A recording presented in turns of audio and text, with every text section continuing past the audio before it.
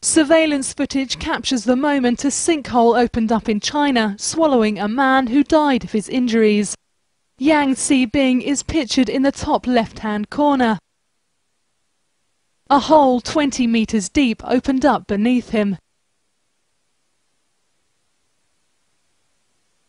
The 25-year-old was a security guard at the residential compound in Shenzhen City.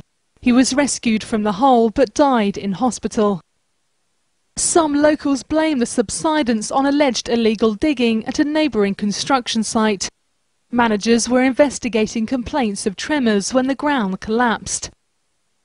A number of residents are now living in temporary accommodation as an investigation tries to determine what happened.